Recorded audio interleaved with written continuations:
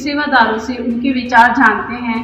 कि लड़के लड़कियों में क्या अंतर है हाँ जी गुड आफ्टरनून बताइए। मैम गुड आफ्टरनून जी मैम लड़कियां और लड़कियों से कोई फर्क नहीं है लड़कियां भी लड़कियों के बरोबर काम कर रही हैं इसलिए इन्हें में कोई फर्क नहीं है हाँ जी बहुत अच्छा विचार जी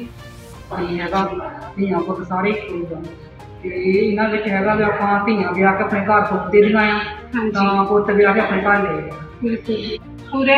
सम्मान देने से हाँ वो लड़कों से भी अच्छा काम कर सकते हैं लड़कों से आगे बढ़ के लड़कों से भी ज़्यादा दिखा सकते हैं। बिल्कुल बस सिर्फ़ थोड़ी सी अज्ञानता पर कुछ ऐसे आ, कुछ लोग ऐसे हैं जिनके मन में ये है कि शायद लड़के जो है वो ज़्यादा वो है और लड़कियाँ जो है वो नहीं है। हाँ जी। ठीक है यहाँ पे हमारी सोच का फ़र्क आ रहा है। बहुत अच्छा विचार आपका धन्यवाद। जब है? ये ਹੁਣ ਅੱਜ ਕੱਲ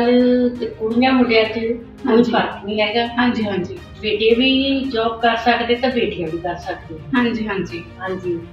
ਤੇ ਬਹੁਤ ਬਹੁਤ ਵ- ਵੱਡੇ ਵੱਡੇ ਕੰਮ ਬੇਟੀਆਂ ਵੀ ਕਰਦੀਆਂ ਆ हम मैम हम भी एक महिला हैं हाँ जी मैम हम भी चाहते हैं कि मैम हम अपने देश का अपने समाज का अपने विद्यालय का और अपने